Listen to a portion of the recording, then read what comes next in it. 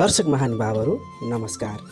स्वास्थ्यको बारेमा महत्त्वपूर्ण जानकारीमूलक विषयवस्तु लिएर सदा चाहिँ आज पनि म उपस्थित भइसकेको छु। आज प्रस्तुत गरिने विषय हर्मोन भनेको के हो? हर्मोनको गडबडी वा असन्तुलन हुँदा महिला पुरुषमा कस्तो कस्तो लक्षण देखा पर्छ?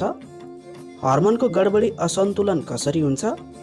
हर्मोनलाई सन्तुलनमा राख्न के गर्ने भन्ने विषयमा महत्त्वपूर्ण जानकारी रहेको छ। कृपया भिडियोलाई अन्तिमसम्म हेर्नुहोला र च्यानललाई सब्सक्राइब पनि गर्नुहोला।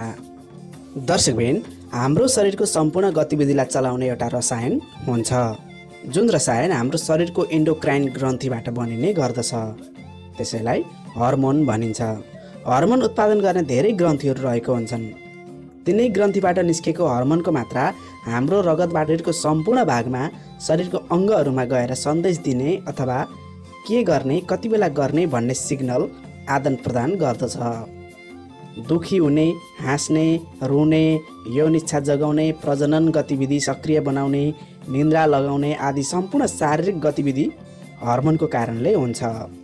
कोही महिलाहरूमा बच्चा नबस्ने समस्या हुन्छ त्यो पनि हर्मोन असन्तुलनकै कारण हो। महिलाहरूमा अनुहारमा चायापत्तो अत्याधिक निस्किने गर्दछ त्यो पनि हर्मोन असन्तुलनकै कारणबाट हुने गर्दछ। हाम्रो शरीर दिमाग र यौन क्षमतामा प्रत्यक्ष असर पर्दछ हर्मोन असन्तुलन भएपछि। कोही मानिसहरू होचो नबढेका हुन्छन् उनीहरूमा पनि हर्मोनको गडबडीको समस्याले गर्दा त्यस्तो बनाउँदछ। यदि हाम्रो शरीरमा हर्मोनको मात्रा चाहिने भन्दा धेरै उत्पादन भयो भने वा चाहिने भन्दा कम उत्पादन भयो भने हाम्रो शरीरलाई समस्या बनाउन थाल्छ। हाम्रो दैनिक जीवनमा असर पार्न थाल्छ। हर्मोनको गडबडी हुँदा महिलालाई मात्रै देखिने लक्षण र पुरुषलाई मात्रै देखिने लक्षण फरक फरक हुन्छन् र महिला पुरुष दुवैलाई एकै खालको लक्षण पनि देखिन्छ। इन्डोक्राइन ग्रन्थी थाइराइड ग्रन्थी पिट्युटरी ग्रन्थी प्याङ्क्रियाज ग्रन्थी आदि ग्रन्थीहरूले हर्मोन उत्पादन गर्दछन्। अहिले धेरै देखिएको समस्या थाइराइड ग्रन्थीको छ। सबैलाई थाइराइडको समस्याले च्यापेको छ। थाइराइडको समस्या हुनु पनि हर्मोन गडबडी हो। थाइराइड ग्रन्थीले निकाल्ने थाइराक्सिन हर्मोनको मात्रा कम वा ज्यादा निकाल्ने गर्दछ र थाइराइडको समस्या देखिन्छ। दर्शकबिन हाम्रो शरीरमा हर्मोनले के के काम गर्दछ त बुझौँ रोगसँग लड्ने क्षमता बढाउँदछ। शरीरको तापक्रम मिलाएर राख्ने काम गर्दछ। मुटुको धड्कन मिलाउँदछ। निन्द्रा लगाउने काम गर्दछ। यौन उत्तेजना र प्रजनन कार्य गराउँदछ। शरीरको वृद्धि विकास गराउँदछ। मानसिक अवस्था सन्तुलित राख्दछ। शरीरमा चिनीको मात्रा मिलाएर राख्दछ जुन मेटाबोलिजमसँग सम्बन्धित रहन्छ। दर्शकबिन बुझौँ हर्मोनको गडबडी हुँदा के के लक्षणहरू देखिन्छन् त? पहिला बुझौँ महिलामा कस्तो लक्षणहरू देखिन्छन् भनेर। महिलाहरूमा हर्मोनको गडबड वा हर्मोन असन्तुलन हुने बित्तिकै देखिने समस्याहरू जो महिलासँग मात्रै सम्बन्धित हुन्छ हेरौँ लक्षणहरू।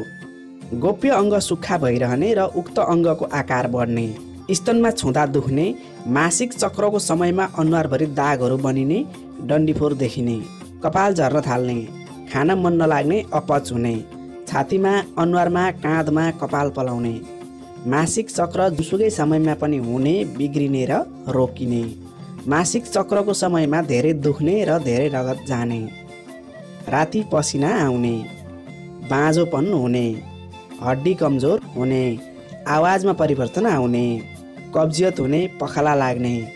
छालामा आउने मसिना कोठीहरूको साइज बढ्ने वा त्यस्ता कोठीहरू शरीरभरि निस्कने। त्यसै गरी हर्मोन गडबडीको असरले पुरुषमा यस्ता लक्षणहरू देखिन्छन्।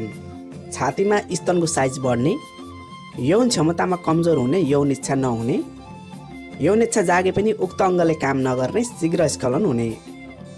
शुक्राणुको सङ्ख्यामा कमी आउने मुटुको धड्कन बढ्ने मुटुमा वा छातीमा हलुका छुँदा दुख्ने हड्डी कमजोर हुने कपाल झर्ने अनि कपाल नपलाउने। दर्शकबिन यी त भए महिला पुरुषमा देखिने अलग अलग लक्षणहरू। अब दुवैलाई देखिने साझा लक्षणहरू कस्ता देखिन्छन् त? हेरौँ। अचानक रूपमा शरीरको वजन घट्ने वजन घट्ने कारण थाहा नहुने। अर्थात् के भएर शरीरको तौल घटेछ भन्ने लाग्छ। कि शरीरको तौल अचानक बढ्ने पाखुरामा पेटमा धेरै बोसो लाग्ने छाला सुक्खा हुने। कपाल झरेर पातलो हुने कपाल कमजोरी हुने। मांसपेशी कमजोरी हुने थकाइ मात्रै लाग्ने। आँखा मधुरो जस्तो हुने। यौन क्षमता घट्ने त्यतापट्टि ध्यानै नजाने। सन्तान नहुने बच्चा नबस्ने। छिट्टै जाडो भएको जस्तो हुने र छिट्टै गर्मी तातो अनुभव गर्ने। धेरै जाडो वा धेरै गर्मी भएको फिल हुने। पिसाब धेरै लागिरहने। तिर्खा लागिरहने। जोर्नीहरू दुख्ने सुनिने गर्दछ। दिशा गर्न बस्दा साह्रो पर्ने कब्जियत हुने छालामा दाग धर्काहरू देखिने चिन्ता लागिरहने धेरै बेरसम्म सोचिरहने अर्थात् मानसिक सन्तुलनको अवस्था ठिक नभएको जस्तो देखिने। अब ध्यान दिनुपर्ने कुरा के छ भने कपाल झर्ने वजन धेरै बढ्ने वा घट्ने लुते हुने वा अकस्मात मोटोपन देखिने यौन क्षमता नहुने यौनमा रुचि नहुने र महिलामा देखिने लक्षणहरू पनि महिलाहरूले बुझेर यस्ता लक्षणहरूलाई ध्यान दिएर डाक्टरसँग परामर्श गर्नुहोला। किन हर्मोन असन्तुलन हुन्छ त? हर्मोन असन्तुलन हुनु भनेको शरीरबाट एक प्रकारको विकार पैदा हुनु हो। हर्मोन असन्तुलन हुने विभिन्न कारणहरू हुन्छन्। हर्मोन उत्पादन गर्ने ग्रन्थीहरू विभिन्न कारणहरूले प्रभावित भएर चाहिए अनुरूपको हर्मोन उत्पादन गर्न नसक्नु र अनावश्यक रूपमा धेरै हर्मोन उत्पादन गर्ने गर्दछ। यसो हुनुको पछाडि मुख्यतया हाम्रो खानपान हो। त्यसै गरी विभिन्न औषधिहरूको सेवनले वंशाणुगत समस्या विषाक्त वातावरण विभिन्न कीटनाशक औषधिको सम्पर्कमा रहने कारणले विभिन्न रसायनहरू औषधिहरू छुने गर्नाले धेरै चुरोट खाने मानिसमा धेरै रक्सी खाने मानिसमा निन्द्रा नपुग्ने कारणले नसुत्ने कारणले धेरै धुलो धुवा धेरै तनाव चिन्ता लिने समस्याले गर्दा हर्मोन उत्पादन गर्ने ग्रन्थीहरू प्रभावित हुने गर्दछन्। त्यसमा पनि विभिन्न रोगहरू लागेमा डायबिटिज भएमा थाइरोइडको समस्या देखिएमा वा थाइराक्सिन हर्मोन धेरै हुने वा कम हुने शरीरमा ट्युमर पलाएमा क्यान्सरको उपचार गर्दा शरीरमा ठुलो चटपटक लागेमा गर्भ अवस्थामा महिनावारीको समयमा गर्भनिरोधक औषधि सेवन गरेमा हर्मोनमा परिवर्तन आउँदछ। हर्मोन असन्तुलन हुन नदिनलाई के गर्ने त?